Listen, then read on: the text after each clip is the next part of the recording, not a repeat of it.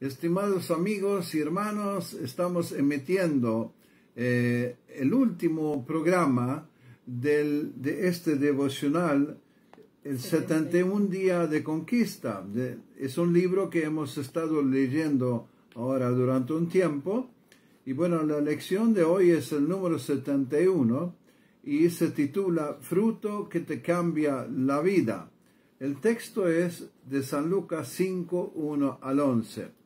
Aconteció que estando Jesús junto al lago de Genezaret, el gentío se agolpaba sobre él para oír la palabra de Dios, y vio dos barcas que estaban cerca de la orilla del lago, y los pescadores, habiendo descendido de ellas, lavaban sus redes.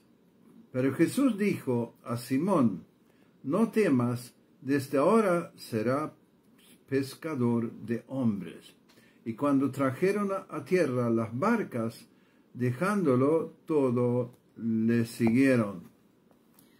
Bueno, era un momento de gran hambre de Dios. La gente se agolpaba para escuchar a Jesús que enseñaba desde una barca. Imagino que al terminar su prédica habrá ardido en el corazón el deseo de hacer un llamado y ver una gran cosecha de salvación. Pero todavía no era el tiempo. El cordero no había sido aún inmolado. Con cierto escepticismo por toda una noche sin fruto. Los discípulos obedecieron el mandato de Jesús y levantaron una pesca increíble. El impacto de esa experiencia fue muy fuerte para todos, pero veamos qué frutos produjo en la vida de Pedro específicamente. Se le reveló el señorío de Cristo y su infinita grandeza y santidad sobre nosotros. Pedro le dijo a Jesús, Apártate de mí, soy hombre pecador. Lucas capítulo 5, versículo 8. Le produjo temor reverente. Por la pesca milagrosa, el temor se había apoderado de él y de todos los que estaban allí. Produjo un llamado. Pedro fue llamado a ser pescador de hombres. Provocó consagración. Cuando trajeron a tierra las barcas, dejándolo todo, le siguieron. Lucas capítulo 5, versículo 11.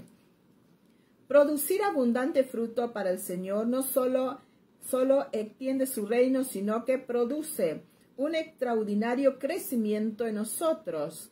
Aprovecha este tiempo para dar una cosecha extraordinaria y deja que el Señor se glorifique en las personas y en vos mismo transformándote en un poderoso hombre o mujer de Dios. Vamos a orar, apóstol. Bueno, entonces eh, vamos a orar todos juntos. ¿eh? Señor, ayúdame a levantar una cosecha que conmueva eh, tu corazón, Señor, que extienda tu reino y que me haga crecer en revelación, en el temor de Dios, en mi llamado y en consagración.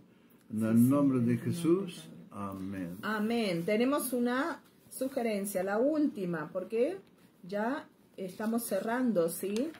Eh, estos 71 días de conquista. Cada día será un gran día de cosecha. Seguí trabajando, ¿sí? Aún hay tiempo para seguir trabajando. Bendiciones. Que Dios le bendiga.